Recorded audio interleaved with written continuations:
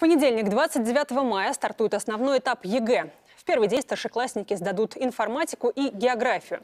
О том, как будут проходить экзамены, сегодня рассказали на пресс-конференции в Москве. Главное новшество – задания теперь будут распечатываться непосредственно на месте проведения выпускных испытаний. Это значит, что любая утечка исключена.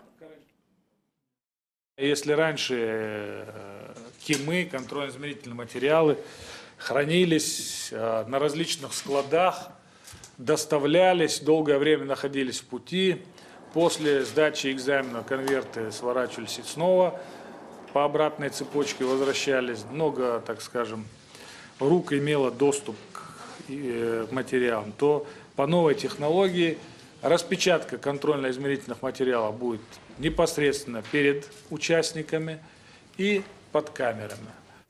Никаких других существенных новшеств в этом году не будет. А вот в будущем может расшириться список обязательных предметов.